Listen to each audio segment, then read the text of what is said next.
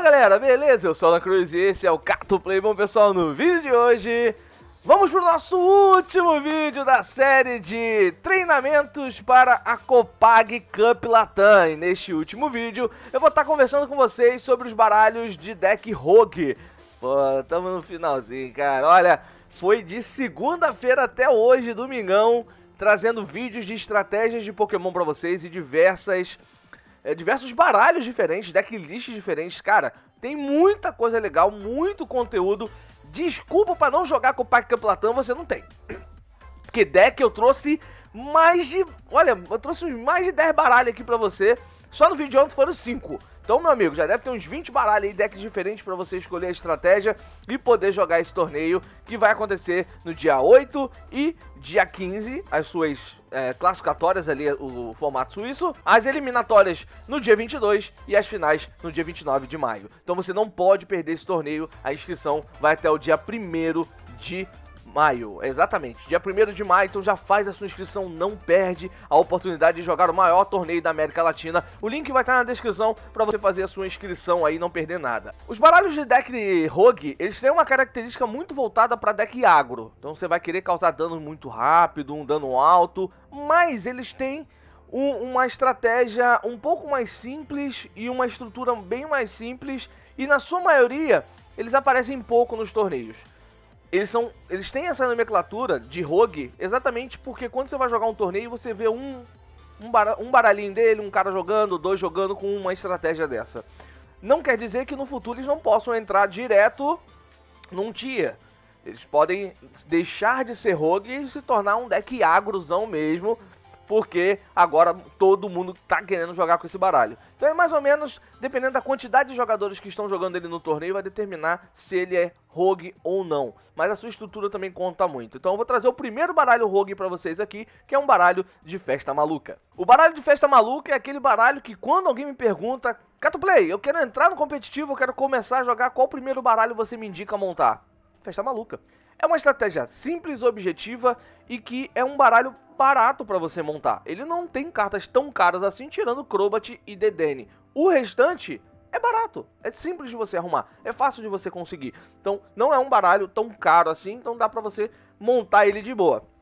E aí, para substituir Crobat e Dedenne, talvez colocar é, Pokéguia, colocar mais cartas que tem a característica de você estar tá usando, fazendo descarte. Então, você pode modificar. Mas o ideal é que você tenha eles, porque vai ser muito melhor para sua estratégia e muito melhor para que ela funcione rápido. Festa Maluca funciona da seguinte forma. A gente tem Banelby, Mr. Rhyme de Galar, Poltergeist, e deixa eu ver se tem mais algum outro, e o, o Denene, né? Todos eles têm o mesmo ataque, chamado Festa Maluca. E o que, que o ataque Festa Maluca diz? Ele diz que esse ataque causa 20 de dano para cada Pokémon na sua pilha de descarte que tiver o ataque Festa Maluca. Então ele funciona assim. Você precisa descartar os Pokémon que tem ataque festa maluca. E vezes a quantidade que tá lá no descarte, você causa dano. Então vamos lá. Tem um Bonelbo como ativo. Eu tenho 8 Pokémon no banco. Que. É, 8 Pokémon no descarte que tem um ataque festa maluca. Eu tô batendo 160 de dano. Então 2 vezes 8, 16, 160 de dano. Então conforme eu for descartando o Pokémon festa maluca, aí eu vou estar tá aumentando esse dano. Lembrando que os nossos Pokémon atacantes desse baralho são Banelby e Poltergeist. A gente só tem dois atacantes. E o Poltergeist você nem precisa montar muito não. Você monta um, dois, vai depender de como funcionar a partida ali, no máximo.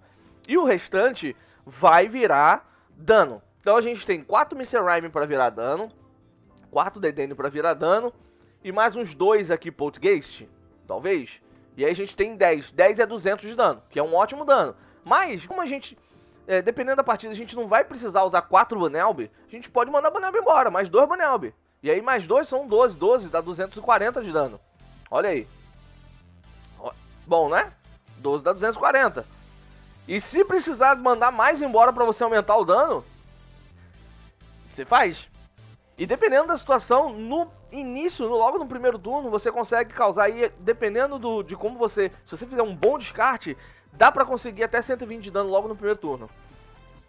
Porque você consegue é, usar bola rápida, usar DDN, descarta muita coisa, grande bola, então você pode ir buscando, acumulando Pokémon na sua mão, DDN descarta tudo.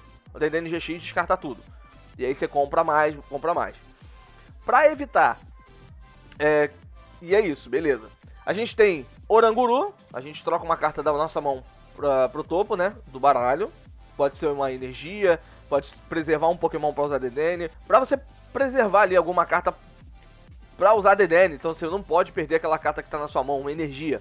Usa Oranguru, bota energia no topo do baralho, DDN, descarta a mão, compra energia de novo, então você tá preservando recurso ali, é uma boa opção. A gente também, de Pokémon é isso, beleza. A gente tem DDN, Crobat, é o nosso Draw Power.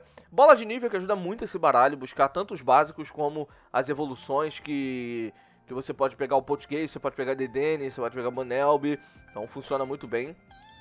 Só o Mr. Rhyme que não, mas aí o Mr. Rhyme a gente tem grande bola, a gente tem senso de evolução para poder buscar, então não é tão difícil você buscar esses Mr. Rhyme, não. Palped a gente já conversou da série essa semana. O que tem de legal aqui que eu acho é isso aqui, ó. É um exílio de Giovanni. Por quê?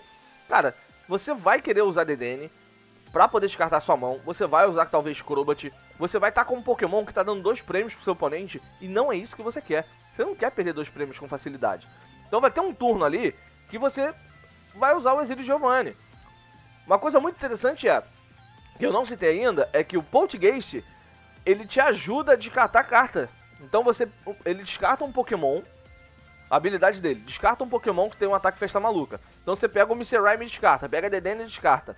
E você compra duas cartas quando você faz esse descarte. Então você tem draw no turno. Se você tiver dois Poltergeist, você tem quatro cartas de draw no turno. Então dependendo do turno ali, você usa o Giovanni, que você vai ter o draw do Poltergeist e causa o knockout, bate, faz o dano que você precisar fazer ali.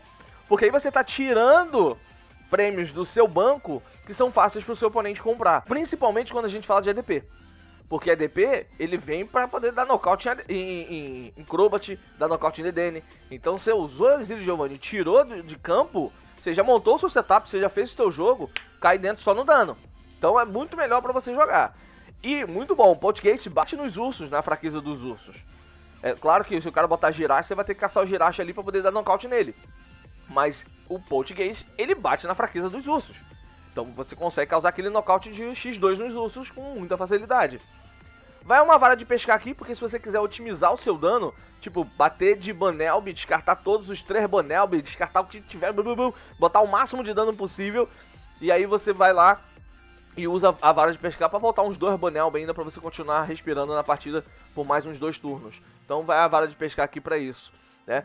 Uma linha de 3 quatro energias especiais aqui, no caso tripla e gêmea. A tripla só serve para ligar no Poltergeist e a gêmea serve para ligar nos dois, tanto no Banelb quanto no Poltergeist. E é um baralho que tem topado o torneio. Eu fiz um torneio há um tempo atrás, essa semana, né? Essa semana eu fiz um torneio de aniversário de um ano de live lá no canal Roxinho. O campeão, Festa Maluca. Não é essa lista, né? Mas o campeão foi Festa Maluca. 19 jogadores. Ele jogou na final contra a ADP. E no top 4 teve ADP, Victini, 2 ADP, 1 um Victini VMAX e. É, na verdade, eu acho que a final foi contra Victini VMAX, agora eu não lembro. Não, ganhou Victini VMAX na semifinal. Então foi Victini VMAX Mewtwo com. Com, com ele na semifinal, né? Com, AD, com Festa Maluca na semifinal. E aí na final pegou ADP. Na semifinal teve uma Mirror de ADP. Então a gente teve dois ADP, uma Festa Maluca e um Victini VMAX com Mewtwo na, no top 4. Campeão! Torneiozinho com 19 jogadores. E aí? É um deck que dá pra você competir. Esse daqui, ele tá num misto de rogue pra deck tier, porque ele topa torneio, ele é campeão de torneio. É um deck muito bom e é uma ótima porta de entrada Pokémon TCG. Para quem tá querendo competitivo, para começar, é um baralho muito bom para você ter logo seus primeiros aí, jogar os seus primeiros torneios, é um baralho maravilhoso para isso. Chegando no deck de Spiritomb, um baralho que eu gosto bastante também, um baralho muito bom de você jogar. Ele é um pouquinho caro, pra, pra quem tá começando no Pokémon TCG, ele é um pouquinho caro, porque o Spiritomb, ele tá caro no Pokémon TCG Online. Eu acho que acho que dois boosters, mais ou menos, dois, três boosters, isso aí não é tão fácil, precisa de quatro. Fora isso, tem outras cartas que você vai precisar que não são tão fáceis de conseguir. Talvez seja o mais. Não, não é o mais complicadinho de você montar, não, porque tem uma outra lista aqui que ela é um pouquinho mais. Mas é um baralho muito forte, por quê? O Spiritomb, ele tem o acumular rancor. Todo turno você pode colocar um contador de dano nele. E pra que, que a gente quer colocar contador de dano nele? Pra aumentar o seu dano. O Grito Angustiante causa 10 de dano, mais 30 para cada contador de dano ligado a ele, cada contador de dano nele. Então se você tiver 5 contadores de dano, você está causando 160 de dano.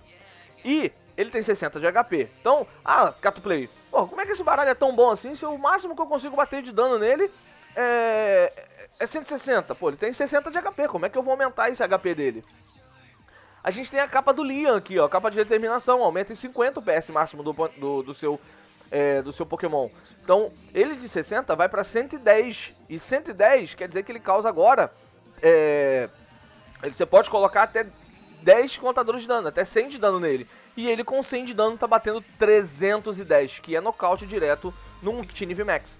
Então você consegue chegar a 310 de dano com uma energia só em um Pokémon básico desse. É muito forte, não é? Fora que você pode dar nocaute em ADP, que tem 280 de, de HP, dar nocaute em, em que tem 270 de HP. Então você consegue chegar a vários nocautes ali no seu oponente. Outros Pokémon que tem HP acima de 310, você bate nos hits, dá pra levar de boa. Você consegue levar de boa. Mas, Catuplay, como é que eu faço pra botar bastante. É, bastante dano nele e eu causar um alto dano logo no primeiro turno, no segundo turno? É simples. Vamos lá, a gente quer começar de Girache pra gente buscar recurso no nosso baralho. Show de bola. A gente vai colocar pelo menos dois Spiritome no banco. Vai bater as duas habilidades. E aí a gente tem Jinx, ela move um contador de dano de um Pokémon seu para outro Pokémon seu. Então você pode mover daquele é, Spirit Tomb pra ele, já vai estar tá com dois contadores de dano, 70 de dano, já dá nocaute num girache do oponente que tá combativo ali. A gente tem Machado para tirar a maré caótica que atrapalha a gente, por quê? Porque a gente tem o Spike Muff. Spike Muff é um estádio que sempre que o Pokémon ativo for pro banco, ele vai tomar dois contadores de dano. Então na hora que a gente colocar o Spiritomb, a gente recuar ele, a gente vai tomar dois de dano com o Spiritomb. E isso é muito forte pro Spiritomb. Porque imagina, passa o turno pra você. Você, começou como segundo, abriu de Spiritomb, colocou Spike, Spike Muff, giraste no banco, deu substituição ou corda de fuga, colocou o Girache como ativo e colocou o Spiritomb no banco. Já tá tomando dois contadores de dano. Habilidade, três contadores de dano. É, habilidade do, da Jinx passando um dano para outro. 4 contadores de dano. Só que já 3 vezes 4, 12, 130 de dano. Isso numa brincadeirinha ali. Num switch que você deu. Então é, é muito forte esse aqui.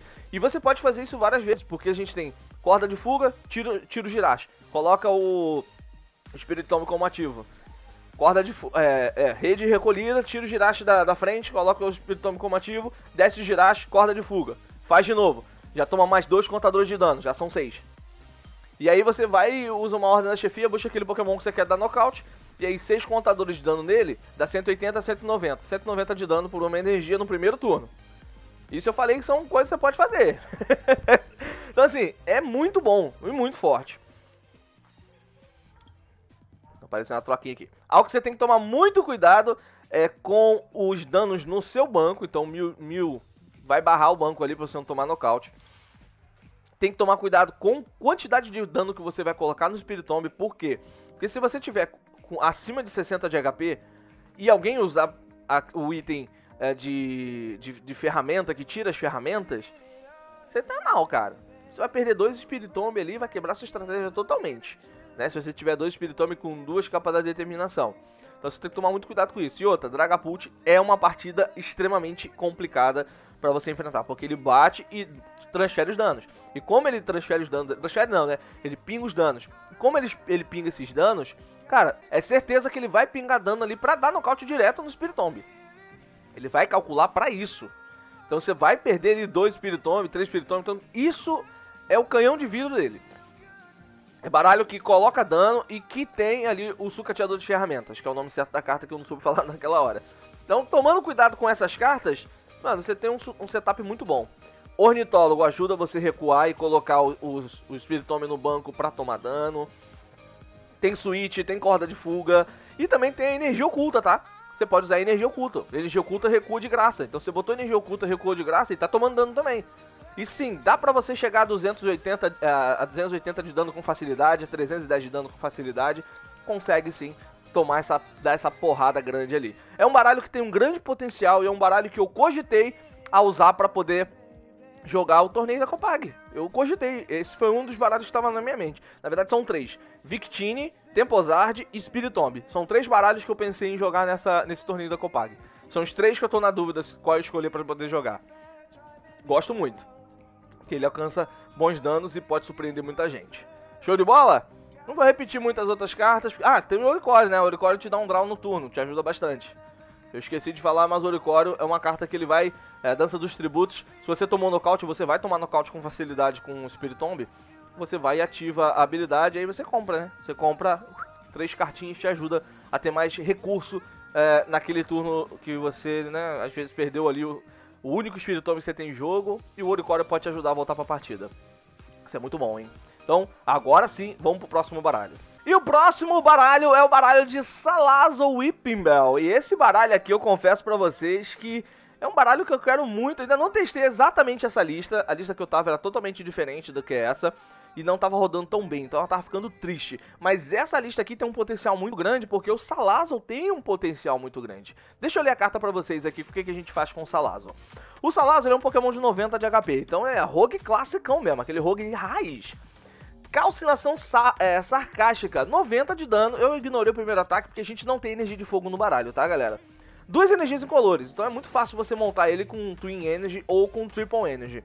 E é para isso que a gente vai... Uh, triple Energy e Twin Energy, exatamente. A dupla e a tripla. Esse ataque causa 90 pontos de dano para cada condição especial afetada do Pokémon ativo do seu oponente. Então, se o seu oponente tiver com uma é, condição especial ali, você causa 90 de dano. Duas, 180. Três, 270. 270 de dano. 270 de dano é maravilhoso. E quais são as condições especiais que a gente pode colocar no nosso, é, no nosso Pokémon ali ativo do oponente? É, primeiro, a gente pode acumular até três condições especiais. Infelizmente, não tem como colocar mais do que isso. Por quê? Porque a gente tem as condições especiais que ela interfere na posição em que o Pokémon está ali. Então, o Pokémon ele está na posição em pé normal. Então, quando ele é afetado por, por esse tipo de condição especial, ou ele vai ficar de cabeça para baixo, ou ele vai ficar virado para a direita ou virado para a esquerda. Não tem como colocar duas condições especiais que movem o Pokémon ali, ele só pode ter uma. Então, infelizmente, isso vai atrapalhar bastante a gente. E aí, como é que isso vai atrapalhar bastante né, na hora de calcular o dano? Então, quais são essas condições especiais? Confuso, que deixa ele de cabeça para baixo, dormindo, que fica para a direita, ou paralisado, que ele fica virado para a esquerda. Não tem como você botar dormindo e paralisado ao mesmo tempo. Infelizmente, não tem como. Então, uma das condições especiais que a gente quer é deixar ou dormindo, ou paralisado, ou, é, ou confuso.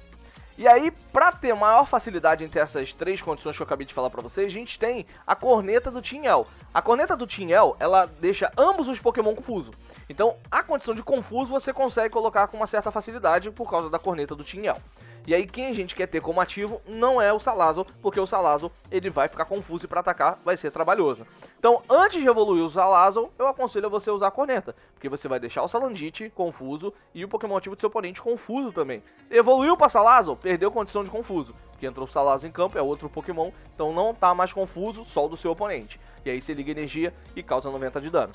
Porém, eu quero colocar mais duas condições especiais, porque eu falei para vocês que eu posso colocar até três. Uma delas é essa condição especial que mexe na posição do Pokémon e tem as outras que não mexem. E aí você pode acumular, que é a condição de queimado e envenenado. Queimado causa dois contadores de dano ao seu Pokémon, ao Pokémon ativo do seu oponente. E envenenado causa um. E aí, como que a gente faz isso? Evoluindo o Whipping Bell. O Whipping Bell tem mucosa perigosa. Quando você evolui ele da sua mão, você coloca a condição de queimado envenenado no Pokémon ativo do seu oponente. Então, você no início usou corneta para deixar ele confuso. Então ele está confuso. Quando você evolui em Pimbel, essa condição de queimado envenenado não interfere no confuso. Ela simplesmente acumula. Você simplesmente vai estar tá adicionando essas condições especiais ali. E aí, simplesmente você causa 270 de dano no Pokémon do seu oponente com esse ataque. Causou nocaute? Hum, não causou nocaute, Cato Play. É um ADP. O ADP ele tem 280 de HP, 260, 270 no fecha o nocaute. Mas tem um detalhe. A condição de envenenado coloca um contador de dano. Já deu nocaute no ADP quando passou o turno. E a de queimado coloca mais dois. No total, você está causando 300 de dano com o Salazo e apenas duas energias incolores. São 300 de dano, meus amigos. E se o, o, o, oponente não conseguir recuar, não conseguir fazer nada, na volta é mais 30 de dano. Acaso é, que a condição de queimado jogou moeda. Se o oponente né, jogou moeda e tirou cara, ele cura o queimado fica só com envenenado. Mas se tirar coroa, ele fica com queimado ainda. E esse ficar com queimado ainda é 30 de dano na volta. E 30 de dano na volta pode ser mais 30 de dano no retorno. É nocaute em qualquer VMAX que tá em jogo. Qualquer um. Principalmente o Victini. Na volta, toma o nocaute, perde o Victini e vai ter que promover outro Pokémon. 270 de dano de novo. É forte. Eu acho muito forte. O problema é que tava difícil de fazer ele rodar. Mas é uma carta que tem um, um baralho que tem muito potencial. Eu vejo muito potencial nele, porque você pode chegar a 300 de dano simples. Não é tão complicado assim. E aí, pra ajudar, a gente tem o Oricório, que é o draw que eu acabei de falar com vocês. E também temos a Denene, que dá um draw maior no turno. Porque às vezes o problema era draw, então a gente foi colocado essas duas cartas de draw. Outro problema era segurar o banco, então Milzinho entrou aqui para isso. E aí, é muito simples, todos os Pokémon são abaixo de 100 de HP. Então, a bola de nível busca todos eles. Mas é bom a gente também ter a bola rápida exatamente pra gente focar nos básicos. A bola rápida foca em pegar os básicos. E a bola de nível foca em pegar as evoluções. A gente também tem o Spike Muff aqui, né? Porque se o seu oponente deixou confuso lá, isso aqui não toma dano, quiser recuar, ele toma dano. Né? O, o, o, oponente, que são os dois, né? Sempre que o Pokémon ativo de um dos jogadores. Então ele recuou, aquele Pokémon vai tomar esse dano. E a gente tem aqui Bruno. Bruno, se a gente tomar nocaute, o Bruno embaralha a mão e compra 7 cartas. Então ele, ele embaralha, ele não só descarta como uma pesquisa dos professores. Ele embaralha. Então a gente pega a nossa mão, devolve o baralho, embaralha e compra sete novas cartas. E aí pode ser repetido ou não, mas vai te dar mais cartas no turno. Ele é muito bom, ele é muito forte para essa estratégia, porque o Salazzle e o Impibel são pokémons com HP baixo. Então é muito fácil de você tomar nocaute com eles. E aí ele vem para isso, para te ajudar no draw. Você consegue comprar mais cartas no turno e isso facilita no teu jogo. Marine e o restante aqui, cara, já é muito conhecido de vocês, então é muito simples de, de entender como é que funciona isso daqui.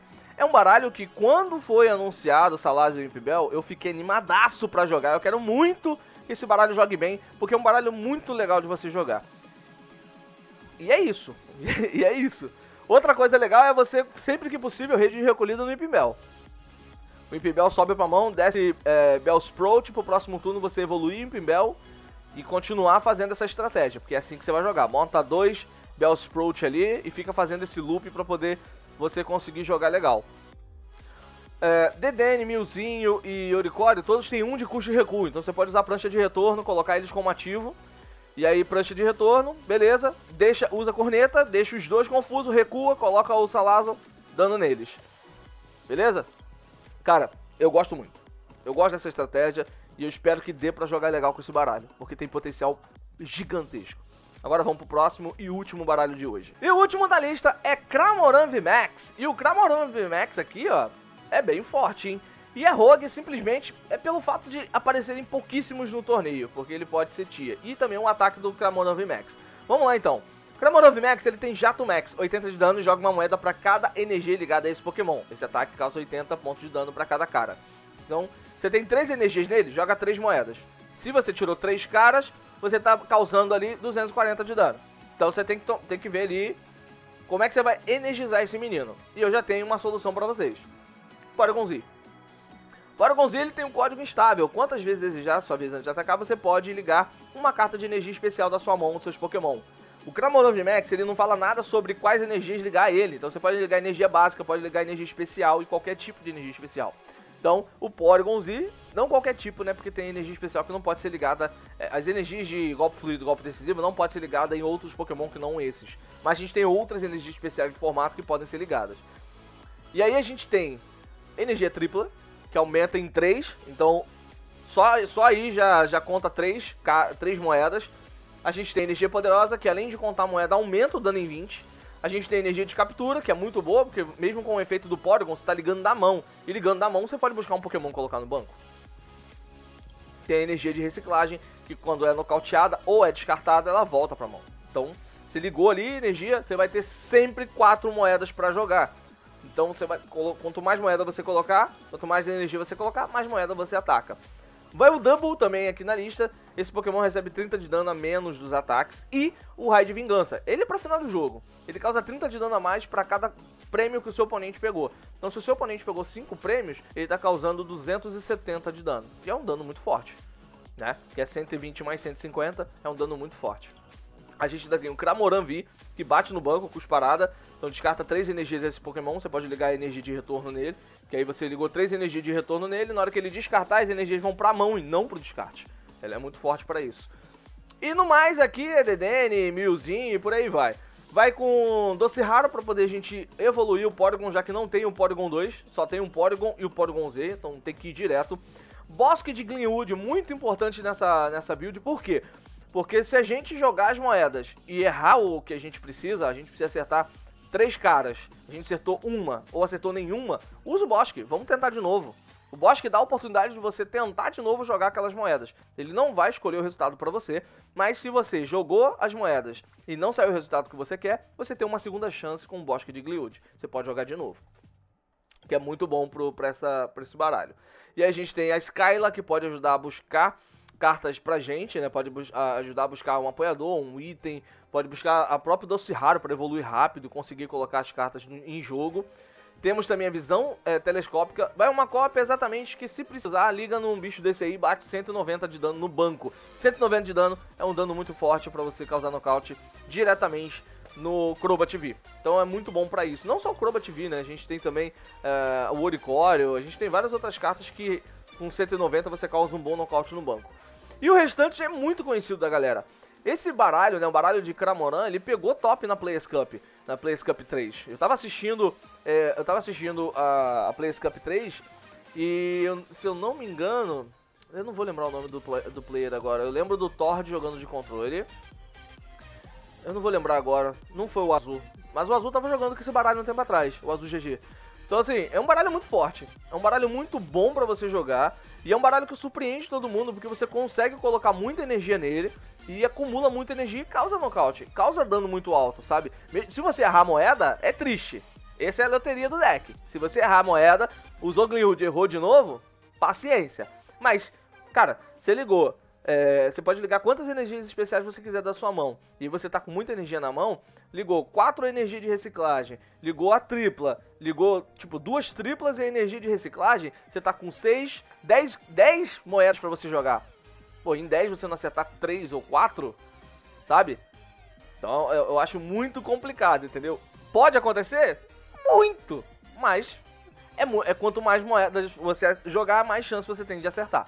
Então é, é por isso que o deck vai dessa forma. E é muito bom porque topou torneio, topa torneio. Então, acho que vale a pena você pensar nessa estratégia de rogue também. Então é isso, pessoal. Esses foram os baralhos de rogue que eu queria trazer para vocês. Espero que vocês tenham gostado aí dessa, dessas decklists. E também eu espero que vocês tenham gostado dessa série.